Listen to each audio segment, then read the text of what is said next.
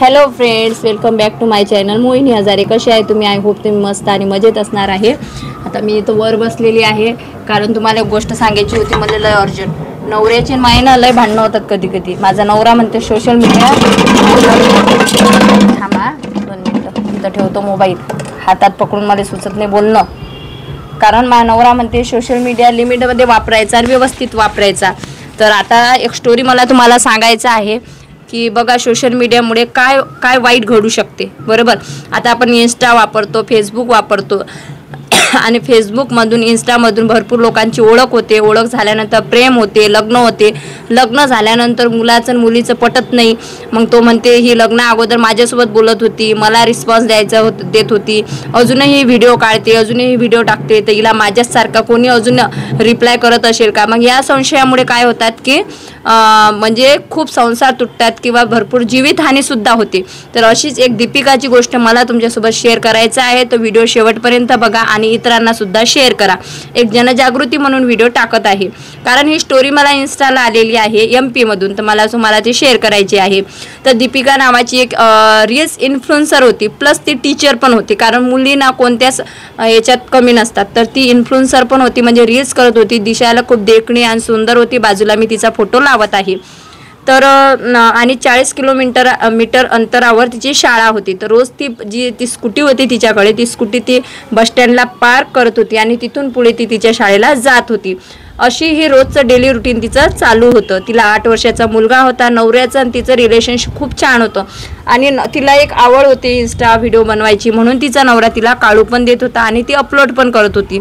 देखणी सुंदर असल्यामुळे गोरी चिट्टी असल्यामुळे ना भरपूर लोक तिला फॉलो करत होते. मीडियावरच्या आणि तिच्या गावातले लोक पण तिला फॉलो करत होती. पण फॉलोवरपैकी असा एक मुलगा होता तिच्या गावातला जो वयाने फक्त तेवीस चोवीस वर्षाचा होता जो तिला तिच्या रिअल लाईफमध्ये सुद्धा फॉलो करत होता. तिच्या घरापर्यंत जाऊन तिला भेटला ओळख केली की मी तुमचे व्हिडिओ वगैरे बघत असते.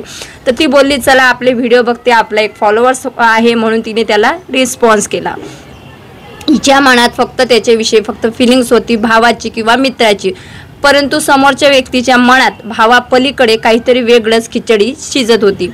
तर तो वारंवार तिच्या घरी येऊ लागला. ती सुद्धा त्याच्या घरी येऊ लागली.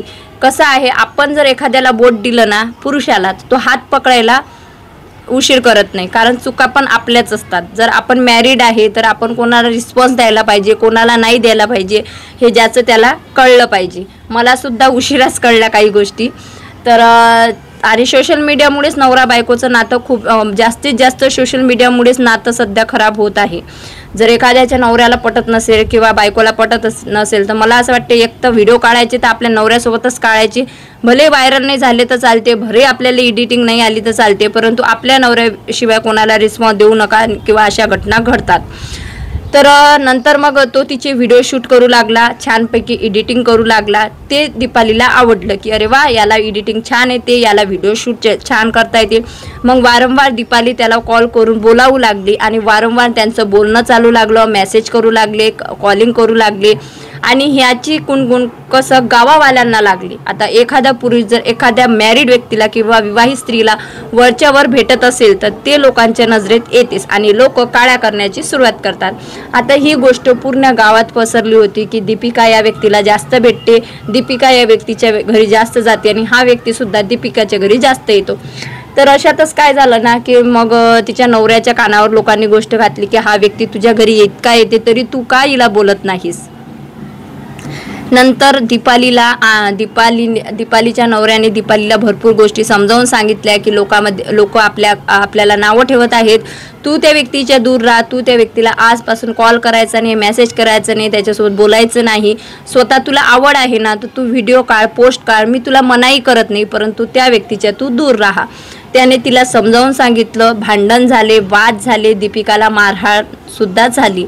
नंतर दुसऱ्या दिवशी दीपिकाला कळलं होतं की याच्यामुळे आपला संसार उद्ध्वस्त होऊ शकतो. म्हणून दीपिकाने त्या मुलाला कॉल केला आणि कॉलवर सांगितलं की हे बघ इथून पुढे मला तू कॉल मेसेज काहीही करू नको आणि आजपासून आपली मैत्री संपलेली आहे. परंतु त्या मुलाच्या नात मनात भावाच्या नात्याच्या पलीकडे दुसरीच खिचडी शिजत होती. त्याला ते गोष्ट सहन झाली नाही. एखाद्याचा इगो हर्ट झाला ना की तो कोणत्यासुद्धा स्तराला जाऊ शकतो. त्याचे तार फिरू लागले की हिने माझ्यासोबत मैत्री तोडलीच कशी? ते झाले दोन चार दिवस कॉलवर बोलणं मेसेजवर वगैरे बोलणं सर्व बंद होतं. वेळ आली वीस जानेवारीची. वीस जानेवारीला त्या मुलाने कॉ कॉल करून बघितला. तर कॉलची रिंग गेली. त्याला वाटलं की हिच्या मनातसुद्धा माझ्यासारख्या फिलिंग्स आहे म्हणून हिने मला आजपर्यंत ब्लॉक केलं नाही. तिने कॉल रिसीव केला. ती बोलली हॅलो हा बोलला की आज माझा वाढदिवस आहे. दीपाली बोलली अच्छा ठीक आहे तुला वाढदिवसाच्या खूप खूप शुभेच्छा. आता शुभेच्छा तर देण्या झाल्या होत्या. तर नंतर तो बोलला असं कसं मी तुला एवढी मदत केली आणि तू फक्त मला कॉलवर म शुभेच्छा देत आहे मला भेट. ती बोलली नाही नाही भेटणं शक्य होणार नाही मला माझ्या शाळेवर जायचं आहे. तर तो बोलला ठीक आहे पाच ते दहा मिनटं भेट पण भेट. इकडे दीपालीला वाटलं इट्स ओके आज त्याचा वाढदिवस आहे तर आपण त्याला समोरासमोर शुभेच्छा देऊया. तर आता इकडे दीपाली निघाली त्याला भेटली त्याला बोलली आणि नंतर त्याचे अजून हे वाढल्या फिलिंग्स वाढल्या. तो बोलला की आज आपण पार्टी करूया. परंतु दीपाली बोलली नाही मला शाळेत जायचं मी शाळेत जाते. आणि दीपाली शाळेच्या रस्त्याने निघाली. इकडे याच्या मनात वेगळंच काहीतरी भा हे सुरू होत्या तर तो वारंवार वारंवार तिला कॉल करू लागला तिचा जॉबवरती असताना. शेवटी ती तिने त्याला कॉल रिसीव केला की ठीक आहे माझी शाळा संपल्यानंतर मी तुला भेटते. आता शाळे शाळा संपल्यानंतर दीपाली पुन्हा त्याला भेटली. तर मंदिराजवळ भेटले आणि मंदिराजवळ भेटल्यानंतर जे त्या त्या मुलाच्या मनात होतं ते तो भळबळ उकून गेला. तो बोलला तिला की तू मला आवडते तू माझ्यासोबत एवढ्या दिवस राहिली तू मला सोडूच कशी शकते तू मला विसरूच कशी शकते? मी हे सहन करणार नाही माझ्यासोबत तुला मैत्री ठेवावं लागेल तुला माझ्यासोबत रिलेशनशिपमध्ये राहावंच लागणार. हा तिला धमक्या देऊ लागल्या. शेवटी ती त्याला समजावू लागले की हे शक्य नाही मी मॅरिड आहे मी मला एक मुलगा आहे मी तुझ्यासोबत रिलेशनशिपमध्ये राहू शकत नाही. हे गोष्टी त्याच्या युगोला हर्ट झाल्या आणि त्याने भर मार्केटमध्ये तिला मारायला सुरुवात केली. तो तिला मारत होता तेव्हा आजूबाजूची पब्लिक बघत होती पण कोणी सुद्धा त्यांना अव अडवलं नाही. कारण साहजिक आहे त्यांचं भांडण आहे आम्हाला काय करायचं असं असते. आणि एक दोन जगांनी त्यांचे व्हिडिओ पण शूट केले. आता व्हिडिओ शूट करताना याला समजलं होतं की लोक आपले व्हिडिओ शूट करतायत. म्हणून त्यांनी तिला माफी मागितली तिला गाडीवर घेतला आणि दुसऱ्या ठिकाणी आपण जाऊन बोलूया असं बोलला. दुसऱ्या ठिकाणी तिला नेलं शेतामध्ये आणि बोलला की तू अशी कशी माझ्यासोबत वागू शकते? आणि पुन्हा तेच त्याचं काम सुरू झालं तिला मारझोड करणं. शेवटी तिने त्याला एकच वेळा सांगितलं की हे होणे शक्य नाही मी फक्त मैत्री केली होती. याच्या पलीकडे माझ्या मनात तुझ्याविषयी भावना नव्हत्या. ह्या तुझ्या चुकीच्या भावना आहेत की जे तुला घेऊन डुबणार आहेत. नंतर ती जशी जायला निघाली तशा तिच्या गळ्यात स्कार्फ होता. या मुलाने तो ओढला आणि तिला फाशी देण्याची प्रयत्न केला. त्याच्यात ती खाली पडली. ती जशी खाली पडली तशी या मुलाने एक मोठा दगड उचलला आणि तिच्या डोक तोंडावर मारला. चटणीसारखं तिचं तोंड करून टाकलं एकदम.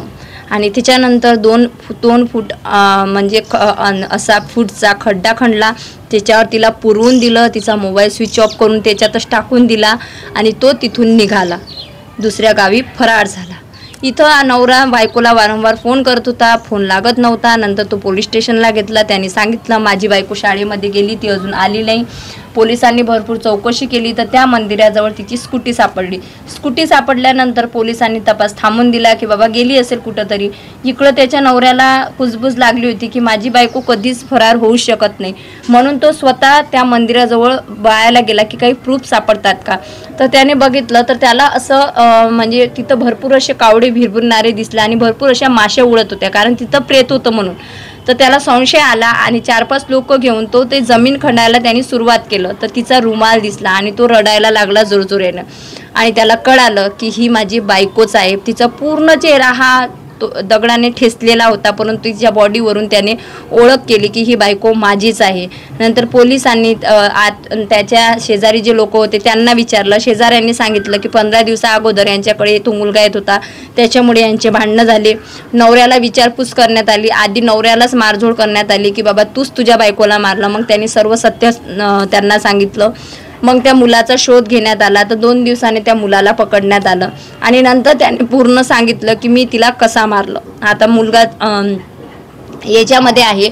परंतु काय झालं? एका मुलीचा जीव गेला. एका मुलाची आई गेली. एका व्यक्तीची बायको गेली. कारण काय आहे? Social media. त्याच्यामुळे अजूनही काय होणार आहे ते मिळून मिळून त्याला चार ते पाच वर्षाची सजा मिळणार आहे. तो बाहेर येणार आहे. परंतु एका व्यक्तीचा जीव गेला फक्त सोशल मीडिया आणि इन्स्टा रील्समुळे. त्याच्यामुळे हा व्हिडिओ याच्यासाठी आहे की तुम्ही जर व्हिडिओ टाकत असाल तुम्ही जर इन्स्टावर फेसबुकवर यूट्यूबवर काम करत असाल तर अनोळखी व्यक्तींसोबत कमी संवाद सावा साधा आणि स्त्रिया जर असाल तर पुरुषांसोबत कमी मैत्री करा. कारण फेसबुकमुळे वाढतं प्रमाण फसवणुकीचं झालेलं आहे याच्यामुळे संसार उद्ध्वस्त होत आहे आणि भरपूर जणांचे आयुष्य पण उद्ध्वस्त होत आहे. भेटूया अशाच एक रिअल स्टोरीसोबत तुम्हाला ही स्टोरी कशी वाटली? कमेंट बॉक्समध्ये सांगा. आणि भेटूया आपण नेक्स्ट व्हिडिओमध्ये तोपर्यंत बाय बाय सर्वांना. श्री स्वामी समर्थ.